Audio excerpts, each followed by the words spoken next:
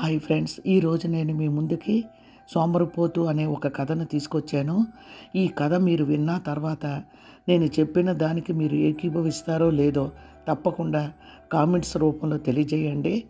మీకు నచ్చితే తప్పకుండా లైక్ చేసి షేర్ చేసి సబ్స్క్రైబ్ చేయండి. నా ఛానల్ పేరు మీకు తెలుసు కదా మీతో కాసేపు నేను. సరేనండి మనం ఈరోజు సోమరిపోతు కథలోకి వెళదాం. గుడిసెలోకి అడుగులు వేసిన సూరమ్మ నడుము లాగుతుండడంతో అక్కడే ఉన్న నొలక మంచం మీద నడుం వాల్చింది. పాపం కోడలు బంగారం. ఇన్ని పనులు పాసి పనులు ఎలా చేసుకొని వస్తుందో నోరెత్తదు బిడ్డ. ఆ పాసి పనులన్నీ చేసి ఆ వచ్చిన నాలుగు రాళ్ళతో ఇంటిని గడుపుకొస్తుంది దొంగ నా కొడుకు సచ్చినోడు. నా కొడుకు అన్న మాట కానీ నాలాంటి కొడుకు ఏ తల్లికి ఉండకూడదు. ఇలాంటి ఎదవ కోసం తను ఎన్ని కుళ్ళు గోపురాలు అన్నీ తిరిగి పిల్లలు పొట్టలేదని ఉడుపులు కట్టి కాలు నడికిన గోపురాలకెళ్ళి ఎంతో కష్టపడ్డాక ఈ దొంగ సచ్చినోడు కడుపున పడ్డాడు.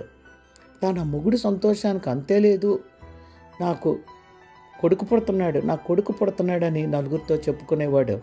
ఒకరోజు అడిగింది తను కొడుకే పుడతాడని ఎలా అనుకుంటున్నావు? కూతురు పుట్టదా అని లేదే నా వంశాన్ని నిలబెట్టేవాడు నా కొడుకే పుడతాడు. నాకు కొడుకే పుడతాడు. ఆ సోములోరు చెప్తున్నారు అన్నాడు. చాలే ఎవరైనా ఇంటే నవ్విపోతారు. ఏ వంశం నీది? ఏ వంశం నీది? సిగ్గు లేదు ఆ మాట అనడానికి. గజం స్థలం లేదు. ఒక పది పైసలు ఆస్తి లేదు. ఏముందని వంశం నిలబెట్టడానికని అంటున్నావు? నీలాగే ఆడు ఒక కూలోడవుతాడు అని అందుతానప్పుడు దానికి తన మొగుడు నోరు మూసుకో నేను ఎంత కష్టపడైనా సరే ఆడిని పెద్ద చదువు చదివించి సర్కారు ఉద్యోగంలో పెడతాను అలా చూస్తూ ఉండు అన్నాడు. అనుకున్న రోజు రానే వచ్చింది కొడుకు పుట్టాడు. ఇక తన మొగుడు సంతోషానికి అంతు లేదు. ముద్దులతో ముంచెత్తేవాడు ఆడిని. నా కొడుకు నా కొడుకు అని వాళ్ళ నాన్న పేరు సోమయ్య అని పెట్టుకున్నాడు. అందరూ అన్నారు కాలం మారిపోయిందిరా. రంగన్న ఆడికి ఆ సోమయ్య అని పెట్టావు. ఆడు పెద్దయ్యకు ఒప్పుకోడని అప్పుడు కావాలంటే ఆడి పేరు మార్చుకోమంటాను. ఎందుకంటే నా నాన్న అంటే నాకు పేనం. అన్నాడు వాడు. ఇంకా ఎవరికి వారే ఊరుకున్నారు. కాలం దొల్లుతూ ఉంది. స్కూల్కి వెళ్ళే టైం వచ్చింది. సోమయ్యకి స్కూల్లో తీసుకెళ్ళి దిగబెట్టారు. ఒకటే గోల ఏడుపులు పెడబొబ్బులు. నాను స్కూల్కి పోను నాన్న నాను స్కూల్కి పోను అని. ఎంత చెప్పినా వాడు మాట వినేవాడు కాదు. చివరికి తనే కల్లర్ర చేసి మొగుడు చూడకుండా తొడపాసం పెట్టి నువ్వు చదువుకుంటే నీకు బోల్డ్ మిఠాయిలు తెస్తాను సాయంత్రం పని నుంచి వస్తున్నప్పుడు అని ఆశ పెట్టి ఎలాగోలాగా స్కూళ్ళకి దిగబెట్టేది. ఇక చూసుకో వాడు అల్లరికి టీచర్లు పిచ్చెక్కిపోయి తనని పిలిచి నీ కొడుకు ఒక్క నిమిషం కూడా మేము చెప్పిన మాట వింటలేదు ఆ నొట్టుకుపో అన్నారు. అదేటండి అలా అంటారు. సర్కారీ చదువులు కదా ఇవి. గవర్నమెంట్ వాళ్ళు మాలాంటి వాళ్ళ కోసమే కదా ఇలాంటి బళ్ళు పెట్టారు. ఆడు చదువుకుంటాడు చిన్నతనం కదా అని తను టీచర్తో అనుభవిందే సరే నీ ఇష్టం అన్నారు. కానీ మన్నాడిచ్చి మామూలే. ఒకటే గోలా పేచి. నానా నిన్న టీజరు నన్ను కొట్టింది తొడపాసం పెట్టింది అమ్మ కూడాను. అంతేకాదు నాన్న నా బొగ్గలు రెండు గట్టిగా గిల్లేసింది అని ఏడుపు మొదలెట్టాడు. కపాలన బడికెళ్ళిపోయి టీచర్ని నానా తిట్లు తిట్టి వచ్చేశాడు తన మొగుడు. తర్వాత చూస్తే వద్దులే నాన్న చదువు కాకపోతే ఏంటి బోల్డ్ పనులు ఉన్నాయి? మనం ఆ పనులు చేసుకుందువు కానీ అయినా నేను ఉండగా నీకేటి లెక్క? అని వాడిని కూలి పనుల దగ్గరికి తీసుకెళ్ళిపోవడం మొదలుపెట్టారు మొగుడు పిల్లలు. ఇల్లు కడుతున్న చోట తను తన మొగుడు కూలి పనికి వెళ్ళేవాళ్ళు. ఈయన్ని మాత్రం నీడపట్టును కూర్చోబెట్టి ఇన్ని బఠానీలో పల్లీలో ఏవో ఒకటి వేసి చూసుకుంటూ పని చేసేవారు. అందరూ తిట్టిపోసేవారు ఈకే నా పిల్లలు ఉన్నారు మాకు లేరా? ఎందుకు ఆడిని ఇక్కడ తీసుకొస్తావని? అంత ఎత్తున లేచిపోయేవాడు తన మొగుడు. నా కొడుకు నా కళ్ళ ముందు ఉండాలని. అలాగా మొదలైంది. ఈ దొంగ నా కొడుకు కథ. అంతే. అప్పటి నుంచి ఆడ ఆడింది ఆట పాడింది పాట. ఉన్న కూలి డబ్బుల్లోనే పోగేసి కొడుకు ఏది కావాలంటే అది చూసేవాడు తన మొగుడు. సచ్చి అక్కడ ఉన్నాడో కానీ అండ్ ఖచ్చితంగా తలుసుకోవాలి. ఎందుకంటే ఏ తండ్రి అయినా కొడుకుని అంత గొప్పగా చూసుకుంటాడా అని అనిపించేలా పెంచాడు. కానీ అర్ధాంతరంగా అడిగి లోకం విడిచిపెట్టి వెళ్ళాక అసలు కథ మొదలైపోనాదే. వీడు ఎందుకో పనికి రాకుండా సోమరిపోతులా తయారయ్యాడు ఎప్పుడు తొంగోవడం లేదంటే రెండు రోజులు పనికి వెళ్ళడం తర్వాత నెమ్మది నెమ్మదిగా తాగుడు కూడా నేర్చుకున్నాడు. ఎంత చెప్పినా ఆడి లోకమే ఆడితే ఏం చేస్తుంది ఎవరైనా భరించలేరేమో కానీ కన్నతల్లే కదా బిడ్డలు ఏం చేసినా భరిస్తారు. అలాగే భరిస్తూ వచ్చింది. చుట్టుపక్కల వాళ్ళు అడు ఎనుపోతులా పెరిగిపోయాడు పెళ్ళి చెయ్యి బయట అన్నారు. అవును కాదు తన కొడుకు పెళ్ళి చెయ్యాలి అన్న ఆలోచనతో ఎన్ని సంబంధాలకు పోయినా ఎవరు వీడికి పిల్లనెత్తామనలేదు. ఎందుకంటే కూలి పనికి కూడా వెళ్ళడు కదా సరిగా. ఇలాంటి వాడికిస్తే నా కూతురే సుఖపడుతుంది? అని ఎక్కొట్టారు పిల్లనివ్వకుండా. తను చాలా బాధపడిపోయింది. కానీ అనుకోకుండా బంగారం లాంటి లక్ష్మి తన కోడలయ్యింది. దానికి కథ ఉంది. దానికి చిన్నతనంలోనే తల్లిదండ్రులు పోయారు. అక్క దగ్గర పెరిగినది దానికి తోడు నీడ ఎవరో ఒకరు కావాలి అన్న ఉద్దేశంతో వాళ్ళ అక్క ఈ దొంగ సచ్చినోడు నా కొడుక్కి ఇచ్చి పెళ్ళి చేసింది. ఆ రోజుతోటే దాని బతుకు ముగిసిపోనాదే. అసలు కోడల్ని సరిగ్గా చూసుకోనే చూసుకోడు. నాలుగు రోజులు పనికెళ్తే నాలుగు రోజులు తొంగొట్టాడు. సోమరిపోతూ ఏం చెయ్యాలో తనకు అర్థం కావడం లేదు. ఒకటి మటుకు తెలిసిపోనాది. మొక్కై వంగంది మానై వంగుతుందా? వీడి ముఖానికి కొడుకు కావాలంట. ఇప్పటికి ముగ్గురు ఆడపిల్లలు పుట్టినారు. ఆ ఆలునా పాలన ఒక్కనాడు చూడలేదు. ఇదే బాలింత్రాలని లేకుండా పళ్ళుకెళ్ళి ఆ డబ్బులు తెచ్చి ఇంత గంజి అన్నం కాసుకు తింటున్నారు. ఆడు ఎప్పుడైనా కూలి డబ్బులు ఇస్తే ఆ రోజు పప్పు బొవ్వ ఇంట్లోనే. పిల్లలు ఆవురు ఆవురమంటూ తింటారు. అమ్మ పప్పు బొవ్వ బాగుంది రోజు ఇలా వండవే అని. అని ఎక్కడి నుంచి తెచ్చి పప్పు బొవ్వ పెట్టగలదు? తన కోడలు నిజంగా చాలా మంచి మనిషి. ఈ దొంగ సచ్చినోడితోటి ఎలా కాపురం చేస్తుందో అన్నట్టు ఈ బతుక్కు తోడు కొడుకు కావాలని ముగ్గురు ఆడపిల్లల్ని కన్నాడు. వాళ్ళు అంగన్వాడీ కాడికి పోయి ఆ బొవ్వే వాళ్ళు తిన్న అసలు బొవ్వ. ఇంటికొస్తే ఏ బొవ్వ లేదు. దానికి తోడు ఇంకా కావాలంటున్నాడు కొడుకు. లక్ష్మి మొన్న ఎంతో బతిమలాడినా దాడిని మామ నేను ఇంకా కళ్ళలేను నేను మరి పనులకి వెళ్ళాలి కదా. కొడుకైతే ఏటి కూతురైతే ఏటి? పెద్ద పెద్దోళ్ళు చెప్తున్నారు కదా ఎవరైనా ఒకటే అని నా మాటను నాకు శక్తి లేదు అని కొడుకుని బతిమలాడడం తను చూసింది. అది పాపం అంత బతిమలాడుతుంటే కబాలన లేచి ఒక్క తన్ను తన్ని ఏటే సంకటం నీకు? నేనున్నాను కదా తండ్రిని. ఈయన మొగుడికి ఎదురు చెప్తున్నావేటే అని తిరిగి మళ్ళా కొట్టబోయాడు. తాను గబాలం వెళ్ళి ఆడి చెయ్యి గట్టిగా పట్టుకొని దొంగన కొడక కళ్ళతో చూడలేకపోతున్నానురా. ఆ తల్లిని ఎందుకురా అలా బాధ పెడతావు? నువ్వు తండ్రివిరా? కషాయోడివే. నువ్వు తండ్రివైతే ముగ్గురు ఆడపిల్లలకి ఏం చేసినావురా ఎదవా ఇంకొక మాలి దాన్ని ఏమన్నా ఒంటి మీద చెయ్యేస్తే నేను నీకు అమ్మను కానురా. దుర్గమ్మ తల్లిని అయిపోతాను. శార్త కాపాడదార్ అని వార్నింగ్ ఇచ్చింది దొంగ సచ్చినోడు. ఈ కుటుంబం ఎప్పుడూ మంచిగా ఉంటుందో ఆ ఆలోచన కూడా తప్పేమో అనిపిస్తుంది. ఈడేమైనా మంచోడు అయిపోతాడానా? మంచోడు కానక్కర్లేదు. కూలికైనా రోజు వెళ్ళి ఆడి తాగినంత తాగి ఆ కూల్ డబ్బుల్లో మిగిలిన డబ్బులైనా ఇంటికిస్తే బాగున్నాం అన్నట్టు కోడలు నాలుగు రోజుల నుంచి కళ్ళు తిరుగుతున్నాయి అత్తమ్మా అని అంది. ఎందుకే బిడ్డ అని తనంటే అనుమానంగా ఉంది అత్తమ్మ. ఈ నెల నేను కాలేదు. మళ్ళా కడుపుగానే వచ్చినాదేమో అని కంగారుగా అందే. ఓలమ్మో మళ్ళా కడుపా? ఓనొక ఒక పని చెయ్యకూడదు. ఆ కడుపు ఇంక మనకొద్దులే సర్కారు వాళ్ళకి చెప్తే అదే సర్కార్ హాస్పిటల్కి వెళ్ళి చెప్తే ఇలాగ ఎంతమంది పిల్లలు పుట్టాక ఇంక అక్కలేదంటే తీసేస్తారట. నాకు ఆ పేటలో ఉంది కదా దుర్గమ్మత్త. తన కోడలికి అలాగే పిల్లలు వద్దనుకుంటే ఆ కడుపు తీసేశారట తీయించేసుకో తల్లి? నువ్వు ఇంకా కనలేవు. ఉన్న పిల్లలకి దిక్కు ముక్కు లేకుండా అయిపోనాది వాళ్ళకే ఏటి పెట్టలేకపోతున్నావు? మళ్ళా కడుపు ఎందుకు? అంతేకాదు నువ్వు ఎలా పాడైపోయినావో తెలుసా?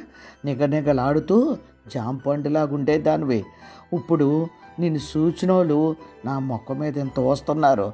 నీ కోడలేటి అలాగ ఎండిపోయిన నక్కలాగా అయిపోయిందని నా మాట విను అని అంది. ఈ మాట నిన్న వచ్చినది అత్తమ్మ ఆ నీ కొడుకుతోటి చెప్పినాను. అడిగేమన్నాడో తెలుసా?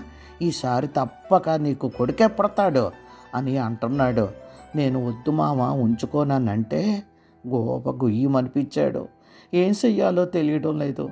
నేనా? ఆ పనులకెళ్ళి ఆ భాషానాలు తోమలేకపోతున్నాను. తడిగొడ్డ అయిలేకపోతున్నాను అమ్మగారులు ఊరుకుంటారా? అంతంత డబ్బులు ఇస్తున్నప్పుడు అని కొల్లు మందే. లక్ష్మి దీనికి పరిష్కారం ఏం చెయ్యాలో తనకు అర్థం కావడం లేదు. అర్థం కాకపోవడం ఏంటి? రెండు రోజుల్లో తనే దగ్గరుండి కోడల్ని హాస్పిటల్కి తీసుకెళ్ళి ఆ కడుపు తీయించేస్తే పేడా పోద్ది అని అనుకుంటూ దొంగ సచ్చినోడు వీడికి ఇంకా పిల్లలు కావాలంట అని అనుకుంటూ ఉండగా తూగుతూ గుడిసెలోకి ఎవరో వచ్చినట్లు అయ్యింది చీకటి గుడిసి. కనబడలేదు ఎవరో వచ్చినది? అని అందే. ఇంకెవరు వస్తారే ఈ ప్యాలెస్లోకి ఎవరు వస్తారేటి నానే నీ కొడుకుని అన్నాడు. ఊరు దొంగ సచ్చినోడా పనికెళ్ళి మధ్యలో వచ్చేసినావేటి? ఏం పోయే కాలం వచ్చిందిరా? ఈ రోజైనా నాలుగు డబ్బులు తెచ్చిస్తావేమో? ఇంత పప్పు కూడు తినొచ్చని ఇంత అందరం ఆశపడుతున్నాం. దిక్కుమాలోడా నా కడుపున సెడ పుట్టావురా అని అంది. సూరమ్మ నోరు మూసుకోవే. నీ కొడుకంటే నీకు బొత్తిగా ప్రేమ లేదు అభిమానము లేదు. ఈ కొడుకుని చాలా తక్కువ అంచనా వేస్తున్నావు. ఈ రోజు నుంచి నీ కొడుకు కూలి పనికి పోడు అన్నాడు. షాక్ అయిపోయింది సూరమ్మ. ఏటి? కూలి పనికి పోవా? నీకేం పోయే కాలం వచ్చిందిరా? కూలి పనికి పోకపోతే ఇంకే పనికి పోతావురా? నీకు ఆ కూలి పని ఇవ్వడమే దండగా. ఎందుకంటే నువ్వు సోమర్ నా కొడుకువి. ఎన్ని చోట్ల పని మానేలేదు. వీడు సరిగా పని చేయడం లేదు. పనిలోంచి తీసేసినామని మేస్త్రీలు నాతో చెప్పినారు కదా. అలాంటిది ఇప్పుడు ఏంట్రా ఈ మాట అంటున్నావు? అని అందే. ఓస్ ఊరుకో. నేను చెప్పేది సరిగా ఇను. నేను పార్టీలో చేరిపోయినాను అన్నాడు. పార్టీలో చేరడం ఏంట్రా? నువ్వేమైనా మంత్రివా? ఏంటి? నువ్వు పార్టీలో చేరడం ఏంటి? నీలాంటి సోమరపోతుల్ని పార్టీలోకి రాణిస్తారా అని అంది సోరమ్మ. పకాలు నవ్వాడు. నువ్వు నీకే తెలుసులే అంట్లు తోముకోవడం తప్ప నాను నీ కొడుకునే చదువుకోకపోయినా అన్నీ నాకు తెలుసు. నేను పార్టీలో జాయిన్ అయిపోయినాను అన్నాడు. పార్టీలో జాయిన్ అవ్వడం ఏట్రా? కూడు పెడతారా? గుడ్డ పెడతారా? ఊరు సచ్చినోడా? అది దవాఖానాకు పోయిందిరా కళ్ళు తిరుగుతుంటే పక్కింటి అచ్చయ్యమ్మత తీసుకెళ్ళింది దాన్ని. దాని బాధ చూడలేక లక్ష్మి చేసే పాసి పనులన్నీ నాను చేసి వచ్చిదిగో ఇప్పుడే మంచం మీద వాలినాను. ఆ బిడ్డ పాపం అన్ని పనులు ఎలా చేస్తుందో చేసినా నాలుగేళ్ళు నోట్లోకి వెళ్తున్నా ఏట్రా? నువ్వు డబ్బులు ఇవ్వక అది తెచ్చిన డబ్బులతోటే ఇలా బతికి ఉన్నాము. ఓర్ దిక్కుమాలోడా అయితే ఇవాళ నుంచి కూలి పనికి కూడా వెళ్ళవు మాట అని గొల్లు మంది. సూరమ్మ బస్ నోరు ముయ్యవే ఇందాకేటన్నావు కూడు పెడతాదా పాటి? గుడ్డ పెడతాదా? అన్నావు కదూ? అన్నీ పెడతాదే అన్నాడు. అన్నీ పెడతాదా? ఎంత ఇస్తారు ఇటు డబ్బులు? అని అంది. డబ్బులు ఇవ్వడం ఏంటే? చెప్పేది నీ గుండె ఆగిపోద్ది. నీ కొడుకు ఎంత ప్రయోజకుడు అయిపోయినాడని పొంగిపోతావు. ఆ సంతోషంలో పానం పోతుందేమో. నాను ఆ పార్టీ జెండా మోస్తున్నందుకు ఇది ఇది తిరిగి అందరినీ ఆ పార్టీకి ఓట్లేయమని అడుగుతున్నందుకు నాకు బిర్యానీ పొట్లాలు ఇస్తారు కావలసినంత తినడానికి ఇస్తారు తాగడానికి ఇస్తారు ఒకటేమిటే కొత్త పెళ్ళికూడుకులాగా మేపుతారే ఆలు అన్నాడు. ఊరు సచ్చినోడా దుర్మారుగుడా మేము ఇక్కడ గెంజిబొవ్వ తింటుంటే ఇదెక్కడ పార్టీరా? ఇవన్నీ ఇవ్వడం ఏట్రా? నువ్వు ఏడ్చేసినావని తాగుడు పోసి బిర్యానీ ఇచ్చి తిన్నంత ఇచ్చి నిన్ను ఏం చేసినా పాపం లేదురా. మరి మేము ఎలా బతుకుతాం అనుకున్నావురా? డబ్బులు ఇవ్వరా దిక్కుమాలోడా అని గొల్లు మంది సోరమ్మ. అస్ నోరు మూసుకో. డబ్బులు కూడా ఇస్తారు. కానీ వెంటనే అడిగితే బాగోదు కదా. ఇంత సౌకర్యంగా అన్ని పెడుతున్నారు. ఇంకేటి కావాలి చెప్పు నాకు? ఇక మీరంటారా? రెండు రోజులు ఆగాక మాకు ఒక హెడ్ ఉంటాడులే. ఆడి పేరు అప్పలనరసింహ. ఆడికి అడిగి డబ్బులు ఏమని అడిగిస్తాలే చూసావా నీ కొడుకు ఎంత ప్రయోజకుడు అయిపోయాడో అని అన్నాడు. నువ్వు ప్రయోజకుడివా? అని అంటుండగానే పక్కింటి ఆవిడ లక్ష్మిని తీసుకొచ్చి ఇదిగో వదిన నీ కోడలి పరిస్థితి ఏమీ బాగోలేదు. డాక్టర్ అమ్మలు పరీక్ష చేసి ఆశ్చర్యపోనారు. ఒంటిలో అది ఎంతో రక్తం ఉండాలంట. నాలుగు ఉందట కాళ్ళు వాపులు. అది ఒంటెల్లో ఏదో పెద్ద జబ్బు ఉందంట. అసలు ఈ పిల్ల ఇప్పుడు నూలు పోసుకుందేటి? ఎందుకు పనికిరాదు. ఈ కడుపుగా నుంచుకుంటే కాటికెళ్ళిపోవడమే అని డాక్టర్లు చెప్పితే నేను ఆశ్చర్యపోనాను. అమ్మ మందులు ఏమైనా ఉంటే రాయండమ్మా అని అన్నాను. మందులా గిందులా? మందులు ఏవి పనిచేయో ఈ పిల్ల అసలు పేనాలతో ఎలా ఉందో మనిషి ఉంది కానీ పేనం కొట్టుకుంటుంది. ఉండాలా పోవాలా అన్నట్లు అంత నీరసంగా ఒంట్లో రక్తం లేకుండా కిడ్నీకి కూడా ప్రాబ్లం వచ్చేటట్టుంది ఈ పిల్లకి. ఎందుకంటే యూరిన్లో చాలా జబ్బు ఉంది. మేము మందులు రాసిస్తాం. ఈ పిల్ల తిరిగి మళ్ళా కండానికి ఎంత మాత్రం పనికిరాదు. మీరు మూర్ఖంగా కణాలు అన్నారనుకో కాటికెళ్ళిపోతుంది. ఈ పిల్ల అని డాక్టర్లు చెప్పారమ్మా. ఒకటే ఏడుపు లక్ష్మి. అవును పెద్దమ్మ ఎందుకో తెలీదు. ఈ మధ్యన నాలుగు భాషానాలు తోవగానే కళ్ళు తిరిగేస్తున్నాయి. ఇల్లు తడిగుడ్డ కూడా వేయలేకపోతున్నాను. మా అమ్మతో చెప్తే నాకు కొడుకు కావాలంటున్నాడు. నాను నా ముగ్గురు కూతుళ్ళకి తల్లి లేకుండా అయిపోతానేమో అనిపిస్తుంది. పాపం ముగ్గురు ఎంత మంచి బిడ్డలు. నేను కూర్చోమంటే కూర్చుంటారు. అలాంటి బిడ్డలకి తల్లి లేకుండా ఆ దేవుడు చేసేస్తాడేమో. నాకు ఏం చేయాలో తెలియడం లేదు అని కొల్లు మంది లక్ష్మి. డాక్టర్లు ఇద్దరూ లక్ష్మికి నచ్చజెప్పారు ఎంతో కాదమ్మా ఇంకా నీకు మూడో నెల కూడా రాలేదు. అబార్షన్ చేయించుకో. మేము రాసే మందులన్నీ వాడు. తిరిగి మనిషి అవుతావేమో చూద్దాం. నువ్వు మట్టుకు ప్రతి నెల చెకప్కి రావాలి. నీకు చాలా ట్రీట్మెంట్ ఇవ్వాలన్నారు నానే పెద్దర్కం తీసుకొని ఆ కడుపు తీసి పారేయమన్నాను అని అంది. ఏటి? కడుపు తీసి పారేయమన్నావా? నువ్వేమత్తవే? పక్కింటి దానివి. కడుపు తీసి పారేయమనడానికి నాకు కొడుకు కావాలన్నాను. ఏమే లక్ష్మి? కొంప తీసి కడుపు కానీ తీయించేసుకున్నావా? అన్నాడు. సోమయ్య భయపడుతూనే అంది. అవును మామ ఇంజెక్షన్ ఇచ్చారు. అసలు ఇంకా మూడు నెలల లోపే కదా. అబర్షన్ చేస్తే ఏం పర్వాలేదమ్మా డాక్టర్ అమ్ములు చెప్పాకే తీసేయమన్నాను అని లక్ష్మి అంటుండగానే నోరు మూసుకోవే నేను బతుకున్నాను అనుకున్నావా సచ్చాను అనుకున్నావా మొగుడిని అనకుండా కడుపు తీయించుకుంటావా అని కొట్టసాగాడు. గబాన్ల సూరం వచ్చి ఓరు దిక్కుమాలోడా దాన్ని వదులుతావా లేదా ఏం పెట్టి పోషిస్తావరా వాళ్ళకి ఒంటి మీదకి సరైన గుడ్డ లేదు సొవుకి ఒక పోగు లేదు వాళ్ళు ముట్టోల్లా బతుకుతున్నారా? వాళ్ళకు చూడనోడివి కొడుకు పుట్టాక నువ్వేమైనా మారిపోయి కలెక్టర్ అయిపోతావా ఏటి? నువ్వు పనికిమాల సోమరపోతువే కదా? అని అనగానే పక్కాలు నవ్వాడు. అవును కాదు నేను చెప్పనే లేదు. నేను ఇప్పుడు పనిచేస్తున్న పార్టీ ఏమని చెప్పిందో తెలుసా? టీవీలో వింటం లేదా? అవును కాదు మనకి టీవీ కూడా లేదు. ఒకసారి ఎదురింటోళ్ళ ఇంట్లో ఉంది కదా టీవీ అదే చైనా టీవీ. ఆ డబ్బా దగ్గరికి వెళ్ళిను వాళ్ళు మన కోసమే పనిచేస్తారంట. తెలుసా నీకు? ఆడపిల్లలుంటే వాళ్ళకి పెళ్ళోసి వచ్చాక రెండు లక్షలు రెండు లక్షలు డబ్బు ఇస్తారట తులం బంగారం ఇస్తారంట. ఒకటేమిటి?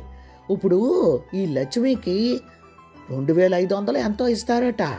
నీలాంటి ముసలముండకి బోల్డ్ ఇస్తారట. నాలాటోడికి డబుల్ బెడ్రూమ్ ఇల్లు కుటుంబం నడపడానికి మళ్ళీ ఏవేవో ఏవేవో పథకాలు పెట్టేస్తున్నారు అన్నాడు. చప్ నోరు మీర సచ్చినోడా పార్టీని నమ్ముకొని బతికేమంటావరా ఎదవా ఆ పార్టీ రాకపోతే రోడ్డు మీద అడుక్కోవడానికి కూడా వెళ్తే మనకెవరు పైసా కూడా ఎగిర్రా. దున్నపోతుల్లాగా ఉన్నారు కాలు చెయ్యి ఉంది కదా అడుక్కుంటారేటి? పని చేసుకోండి అంటారు. అని కయ్యి మంది సోరమ్మ నోరు పోసుకో ఈ పార్టీ కాకపోతే ఇంకో పార్టీ.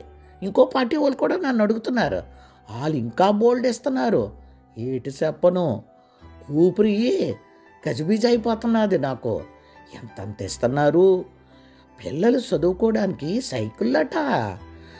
ఏవేవో చదువుకి ఐదు లక్షలట పెళ్ళికి రెండు లక్షలట తులం బంగారం అట ఇంకేటి చెప్పమా ఆ పార్టీ వాళ్ళు. వాళ్ళు అంటున్నారు నువ్వు తిరిగే బ్యాచ్నంతా మా పార్టీకి తీసుకొచ్చి నీకు ఇంకా ఎక్స్ట్రా బోల్డ్ ఇస్తాం అన్నట్టు చెప్పడం మర్చిపోయినాను. మనం అందరం ఉండడానికి డబుల్ బెడ్రూమ్ అంట. నేను ఆశ్చర్యపోయినాను. మన మొక్కలకి డబుల్ బెడ్రూమ్ ఏంటి? గుడిసెలో ఉంటున్నాం. అదే నేను అన్నాను అయ్యా ఆ పార్టీ వాళ్ళు నాకు ఇన్ని ఇస్తామన్నారంటే ఆ పార్టీ కన్నా ఎక్కువ మేము ఇస్తాం నీకు మా దగ్గరకు వచ్చాయి అంటున్నారు. నాను ఇప్పుడు ఎంత డిమాండ్లో ఉన్నానో తెలుసా? ఈ రెండు పార్టీలే కాదు మూడో పార్టీ వాళ్ళు అయితే వాళ్ళు అచ్చం మన కోసమే పనిచేస్తారంట అన్నాడు. సోమయ్య ఏటి? మన కోసం పనిచేస్తారా? మన కోసమేట్రా? ఏట్రా దిక్కుమాలోడా? అని అంది కోపంగా సూరమ్మ. ఎస్ మన కోసం అంటే మన ఒక్కల కోసం కాదు ప్రజల కోసం. ఈ దేశంలో ఉన్న ప్రజల కోసమేనంట. వాళ్ళు నీకు వెళ్ళేదేటి ఇప్పుడు ఇవాళ తొమ్మిది గంటలకి వార్తలు వస్తాయి కదా వెళ్ళిను అయితే ఎన్ని వరాలు ఇస్తున్నారు? ఆ వరాలన్నీ చూస్తుంటే నాకు బుర్ర ఏడెక్కిపోతున్నది అన్నాడు. ఈకెందుకురా బుర్ర ఏడెక్కుతున్నది? అంది సూరమ్మ. ఎందుకేమిటే అసలు ఇప్పుడు ఏ పార్టీలో ఉండాలో నాకు అర్థం అవడం లేదు. వీళ్ళు అంటున్నారు బోల్డ్ ఇస్తాము వాళ్ళు కొట్టేసినారు మేము ఆ డబ్బులన్నీ తీసుకొని మీకు ఇంకా బోల్డ్ వరాలు ఇస్తామని. వాళ్ళు అంటున్నారు వాళ్ళు కొట్టేసినారు మేము ఇస్తామని వీళ్ళు అంటున్నారు. వీళ్ళిద్దరూ కొట్టేసినారని ఇంకొకరు అంటున్నారు. పోనీ వాళ్ళు ఏం కొట్టుకుంటే మనకెందుకులే? మనకి ఇచ్చేవన్నీ కరెక్ట్ అయితే మనకి ఏ పార్టీ వచ్చినా పర్వాలేదు. అర్థమైనాదా? అయితే ఇప్పుడు నాకు వీళ్ళు అన్నీ పోస్తున్నారు కదా మందు పోస్తున్నారు బిర్యానీ పొట్లాలు ఇస్తున్నారు తిన్నంత ఏదో ఒకటి పెడుతున్నారు బోల్డ్ చూస్తాం అంటున్నారు అని చేస్తున్నాను. రేపు ఇంకో పార్టీ వాళ్ళు ఇంకా ఎక్కువ ఇస్తే అక్కడికి పోతాను. ఇవన్నీ కాదే అమ్మా నేను చెప్పింది మనకి ఏ పార్టీ వచ్చినా ముందు రోజులన్నీ బంగారమే. నాన్న ఇంకా కూలి పనికి వెళ్ళక్కర్లేదు ఎక్కడికి వెళ్ళలేదు అన్నట్టు మర్చిపోనాను. ఈ దిక్కుమాలం ఎప్పుడు చూసినా ఒంట్లో బాగాలేదు నీరసం అంటది కదా. ఇది ఆ పాసి పనులకు కూడా వెళ్ళక్కర్లేదు. దర్జాగా డబుల్ బెడ్రూమ్లో కాలు మీద కాలు వేసుకొని సర్కారు వాళ్ళు ఇచ్చే డబ్బులన్నీ మనం తీసుకొని చక్కగా సంతోషంగా బతికేయవచ్చు ఎంత డబ్బులో చూడు నీకొస్తాయి నాకు వస్తాయి లక్ష్మికి వస్తాయి పిల్లలకు వస్తాయి పిల్లలకు బంగారం వస్తుంది పిల్లలకు డబ్బులు వస్తాయి నేను చెప్పలేనే ముసల్దానా. ఈ కేట అర్థం కాలేదు. నాను చదవుకోపోయినా అన్నీ అర్థమైపోతాయి. నీకు అర్థమైందా? మనకు ముందున్న రోజులన్నీ బంగారమే. అలాంటప్పుడు కడుపుంచుకుంటే నట్టమేటి? కొడుకు పుట్టును కదా? అన్నాడు. నోరు ముయ్యిరా దగులుబాజీ నా కొడక. కొడుకు పుట్టి నువ్వేం చేసినావురా మాకు? అయినా డాక్టర్లు ఒక పక్కన సత్తాది కడుపుంచుకుంటే అని చెప్తుంటే నీకు కొడుకు కావాలా? దొంగ సచ్చినోడా? అని అంది సోరమ్మ. సస్ ముసలమ్మండ బతికి మమ్మల్ని సంపుకు తింటున్నావే. ఎప్పుడు పోతావే నువ్వు? ఇంతమంది పోనారు కానీ నువ్వు మట్టుకు ఇంకా బతికే ఉండిపోనావు. ఇప్పుడే చెప్తున్నాను. ఇప్పుడు కడుపు తీసుకున్నాదని నేను ఊరుకుంటాను అనుకుంటున్నావా? సర్కారోళ్ళు మనకి ఏ పార్టీ వచ్చినా ముందంతా బంగారం అని ఇప్పుడు బోళ్ళు సార్లు చెప్పినాను. మన జీవితాలే మారిపోతాయి. అర్థమైనాదా? నాకు కొడుకు కనవలసిందే ఇదే. అలా కనలేదు అన్నదనుకో నేను ఇంకో మను వాడతాను అన్నాడు. దొంగన కొడక నీ ముఖానికి ఇంకొక మనువురా అని సూరం అంటుండగానే అసలు నువ్వెందుకే మధ్యలో వస్తున్నావు మొగుడు పిల్లల మధ్యన? ఏమే లక్ష్మి నువ్వు కడుపు తెగించుకుంటావా సరే మళ్ళా కడుపు రాకుండా పోతాదేటి? అప్పుడు కనకపోయావో నీ పీక నులిపి నేనే చంపేస్తాను నీ లక్ష్మిని ఒకటే కొట్టసాగాడు. అత్త అత్త చంపేస్తున్నాడు అత్త కళ్ళు తిరుగుతున్నాయి అత్త నన్ను నన్ను రక్షించు అని గిలగిల కొట్టుకోసాగింది లక్ష్మి. ఊరు సచ్చినోడా వదలరా అని గబగబా వెళ్ళి సోమయ్యని పట్టుకొని గట్టిగా లాగబోయింది. ఒక్క తోపు తోసాడు తల్లిని. వెళ్ళి గోడకి పడింది. అక్కడే పక్కనే ఉన్న కత్తిపీటం చూసి దొంగ సచ్చినోడా తల్లి నన్ను చూడకుండా ముసలముండని ఇంత తోపు తోస్తావా నువ్వు బతుకుండి భూమికి భారమేరా నీలాంటి సోమరపోతున్న కొడుకులు ఈ పార్టీల పేరు చెప్పి ఇంకా సోమరపోతులు అయిపోతారా? ఎన్ని మాటలు చెబుతున్నావు వాళ్ళు ఇది ఇస్తారా అది ఇస్తారని గాలి మేడలు కడుతున్నావురా నా కొడక. పార్టీల సంగతి నాను మాట్లాడలేను. నాకేటీ తెలవదు కానీ నీలాంటి ఎదవలు సోమరపోతులు ఇంకా ఎక్కువైపోతారా? ఆనాడు గాంధీ తాత ఎన్నెన్నో మంచి మాటలు చెప్పాడు. పార్టీలో నీలాంటి సోమరపోతులు తిరుగుతున్నందుకు మందు పోసి బిర్యానీ పొట్లాలు ఇచ్చి బోళ్ళు చేస్తారా ఊరి సచ్చినోడా ముందు దాన్ని వదులుతావా లేదా? కింద నుంచి లేవలేక లేస్తుండగానే ఎస్ నోర్ ముయ్యేస్ అన్నాడు. దీన్ని చంపి పాత్ర పెడతానన్నాడు. దాన్ని వదులుతావా లేదురా? ఒరే సచ్చినోడా ఏ పార్టీ వచ్చినా మన బతుకులు ఇలాగే ఉంటాయిరా. ఐదేళ్ళకోసారి ఇలాంటివన్నీ జరుగుతూనే ఉన్నాయి కదా. నా జీవితాల్లో ఏమైనా మంచి మార్పు వచ్చినాదా? లేనే లేదు. అన్నట్టు అప్పుడు మనం పదిహేను వేలు అప్పు చేసినాం కదా. ఆడు పొద్దున్నే గుడిసెలోకి వచ్చి నానా మాట్లాడి గుడిసంతా తిరిగి చూశాడు. ఏదన్నా ఒత్తుకుంటే పట్టుకెళ్ళిపోదామని. ఏదీ దొరకలేదు ఆడికి. ఆడు వార్నింగ్ ఇచ్చినాడు. పది రోజుల్లో ఆ పదిహేను వేలు కట్టకపోతే అరెస్ట్ చేయిస్తాడంట. పోలీస్ ఎవడో తెలుసంట వాడికి. ముందు ఆడ అప్పు ఎలా తీరుద్దాం అనుకుంటున్నావురా ఎదవా అని అంత కోపంగా సూరమ్మ. పకాలను నవ్వాడు. ఓసి పిచ్చిదానా నీకు అందుకే చెప్పినాను నీకేటీ తెలవదని. నాను చదువుకోపోయినా బోళ్ళు తెలుసు నాకు. వచ్చే నెలలో మనం ఓట్లేస్తాం కదా. ఓటుకి ఒక్కొక్క పార్టీ వాళ్ళు ఐదు వేలు ఇస్తారంట. అంటే మన ముగ్గురికి పదిహేను వేలు వస్తాయి. మన అదృష్టం బాగుండి ఇంకో పార్టీ వాళ్ళు ఇంకా ఎక్కువ ఇస్తామన్నారు అనుకో పాతిక వేలు రావచ్చు. మొత్తం మీద మనకు పదిహేను వేలు గ్యారంటీగా వస్తాయి. ఆ ఓటు వేసిన వెంటనే ఆ వచ్చిన డబ్బులు ఆడి మొఖాన్ని కొడదాంలే. బెంగెందుకు పెట్టుకుంటావు? అన్నట్టు చెప్పడం మర్చిపోయాను. నాన్న లేనప్పుడు ఎవరైనా మన ఇంటికి వచ్చి అమ్మ ఓటేయమ్మా ఇంత ఇస్తామన్నారు అనుకో బేరం ఆడు. ఐదు వేలు అంటే పదివేలు అడుగు. మన ఓట్లేనే వాళ్ళకి గెలుపు అర్థమైనాదా? నాను చదువుకోపోయినా బోల్డ్ తెలుసు. అర్థం చేసుకో. సేటుగాడు నన్ను అడిగాడు పదిహేను వేలు నిన్ననే కనబడి. మక్కలు ఎరగదంతాను అప్పు తీరుస్తావా లేదా అని. నాను కేర్లెస్గా చెప్పేసినాను. ఓట్లు వేసిన రోజున నా చేతికి డబ్బు వస్తుంది నీ అప్పు తీరుస్తాలే అని. అర్థమైనాదా? అని మళ్ళా ఒక దెబ్బ వేశాడు లక్ష్మి మీద. అంతే ఎక్కడ లేని శక్తి తెచ్చుకొని పక్కనే ఉన్న కత్తిపేట తీసుకొని కాలికలా వెళ్ళి ఆడిని ఒక్క నరుకు నరకబోయింది. కత్తిపేట దెబ్బ వాడి భుజం మీద పడి చీల్చుకుంది. రక్తం కారడం మొదలెట్టింది. ఓర్నాయినో నువ్వు తల్లివే? కొడుకుని నరికెత్తావా ఎలా భుజం చీలిపోయిందో చూడు. ఎంత రక్తం పోతుందో చూడు అని గోవు కేకలు వేయడం మొదలుపెట్టాడు.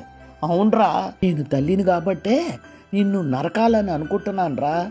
నీలాంటోడు బతికుండడం మాకే కాదురా. భూమికి కూడా భారం అవుతుంది. సచ్చినోడా ఇంకొక పాలి నా కోడల జోలికి వచ్చేవో నిన్ను నరికి పోగులు పెడతాను. పోరా సోమరిపోతున్నా కొడక. ఎక్కడికి పోతావో ఏ పార్టీలోకి పోతావో పోయి తాగి తందనాలాడు. నీలాంటి సోమరిపోతుల్ని ఆ పార్టీలు ఇంకా ఎక్కువ చేస్తున్నారా? వాళ్ళకి అర్థం కావడం లేదు ఏంటి కర్మ? పొరా నా కొడక అని గావు కేకలు వేయసాగింది సూరమ్మ. ఫ్రెండ్స్ విన్నారు కదా కదా ఈ పాలిటిక్స్ చూస్తుంటే కొంతమంది మనుషులు వాళ్ళకు వచ్చే పథకాల గురించి లెక్కలు వేసుకుంటుంటే నాకు ఈ కథ రాయాలనిపించింది. కథ రాయడం కాదండి డైరెక్ట్గా రికార్డ్ చేశాను. ఎందుకంటే నాకు పుస్తకాల్లో పబ్లిష్ అవ్వడం కన్నా ముందు మీ అందరూ నా ఫీలింగ్స్ అవి అర్థం చేసుకుంటారన్న ఆశతో నేను గబగబా రికార్డ్ చేసి అప్లోడ్ చేస్తున్నాను. తప్పకుండా మీరు ఈ కథ విని నా అభిప్రాయంతో ఏకీభవిస్తారా ఏమనుకుంటున్నారు అన్నది కామెంట్ రూపంలో తెలియచేయండి. మీకు నచ్చితేనే లైక్ చేయండి షేర్ చేయండి సబ్స్క్రైబ్ చేయండి. ఉంటాను. బాయ్. Take care.